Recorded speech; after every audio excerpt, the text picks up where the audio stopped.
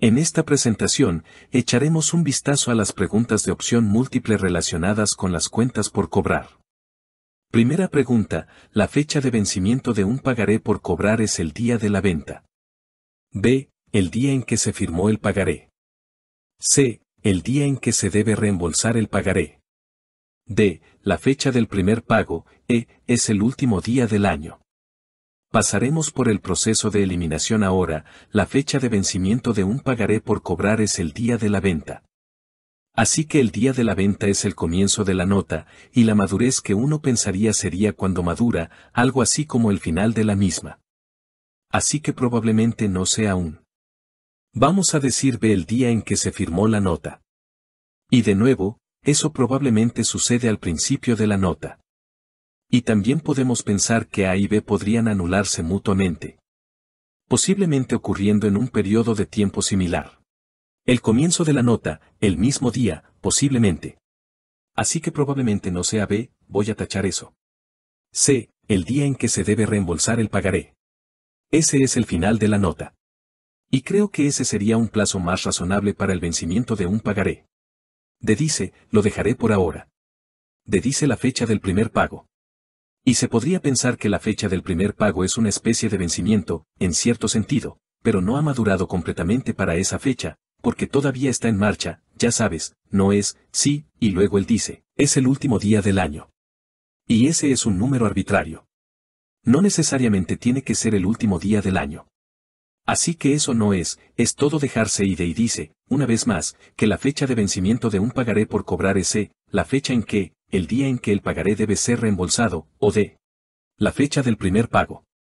Y de nuevo, se podría pensar que el pago sería cuando esté maduro. Y, sin embargo, aún no está muerto, ¿verdad? Todavía está en marcha. Pero en realidad la madurez, en este caso, casi significa cuando es cuando muere, ¿verdad? Cuando la cosa está hecha, y va a hacerse, el día en que se debe pagar el pagaré. Ha sido, ha madurado en la fecha de la fecha de vencimiento, básicamente al final de la misma, y va a estar, ya sabes, hecho después de esa fecha de vencimiento. Así que la respuesta va a ser C. Vamos a decir que la respuesta es que la fecha de vencimiento de un pagaré por cobrar es C, el día en que ese pagaré debe ser reembolsado. Siguiente pregunta, todas las siguientes afirmaciones con respecto a la valoración de los créditos por cobrar son verdaderas, excepto A, se prefiere el método de provisión para los incobrables a menos que los incobrables estén en el material. B. Las cuentas por cobrar deben declararse netas de los incobrables estimados.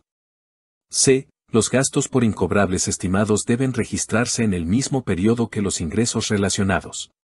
D. Tanto el porcentaje de las ventas, el porcentaje de las cuentas por cobrar, se puede utilizar para estimar la provisión para cuentas de dudoso cobro y E. El gasto por deudas incobrables se registra mejor cuando se determina que es incobrable. Bien, repasemos esto de nuevo.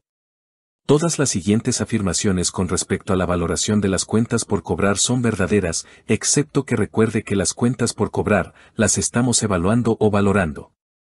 Probablemente lo vamos a hacer analizando los dos tipos de métodos para cancelar las cuentas por cobrar o valorar las cuentas por cobrar, que son el método de cancelación directa y el método de provisión. Ahora recuerde que siempre que trabajamos en estos problemas, generalmente pensamos que el método de asignación es el método preferido a usar. Así que ese es probablemente el que vamos a inclinar como el mejor método, si alguna de estas afirmaciones indica cuál método es el mejor. Entonces, primero dijimos que el método de asignación es el método del ratón para los incobrables es preferible a menos que los incobrables estén en material. Y eso parece razonable. El método de la concesión es el método preferido a menos que suceda algo gracioso, como si fueran de naturaleza inmaterial. Así que eso parece cierto, y por lo tanto no es la respuesta correcta.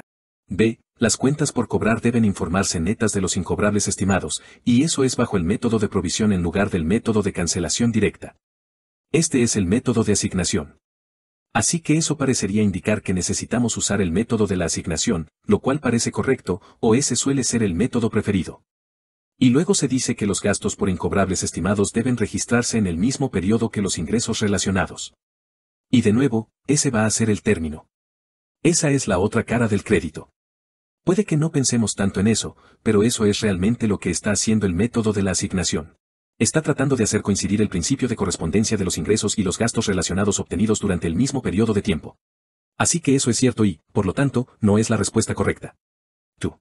D. Tanto el porcentaje de las ventas, el porcentaje de las cuentas por cobrar, se pueden utilizar para estimar la provisión para cuentas de dudoso cobro. Así que, de nuevo, esto nos dice que estamos usando el método de asignación, no el método de cancelación directa. Y hay dos formas en las que podemos estimar lo que no puede ser esa asignación para cuentas dudosas, ya sea el porcentaje del método de ventas o el porcentaje de cuentas por cobrar. Y esos son dos métodos válidos que podemos usar para que uno no sea correcto, que sea correcto, por lo tanto, no sea la respuesta correcta. Y luego dice que el gasto por deudas incobrables se registra mejor cuando se determina que es incobrable. Ahora bien, eso describe el método de cancelación directa, que claramente no es el método que estamos buscando aquí, porque nosotros, cada vez que miramos estos, siempre vamos a decir, bueno, el método de asignación es el que quieren, ¿verdad? El que se supone que tiene el mejor principio de coincidencia y se alinea mejor con nuestros conceptos contables. Por lo tanto, E parece ser incorrecta y, por lo tanto, es la respuesta correcta para esta pregunta una vez más, todas las siguientes afirmaciones con respecto a la valoración de las cuentas por cobrar son verdaderas, excepto E, el gasto por deudas incobrables se registra mejor cuando se determina que es incobrable. Por lo tanto, E, por lo tanto, no es verdadero y, por lo tanto, es correcto. Yo.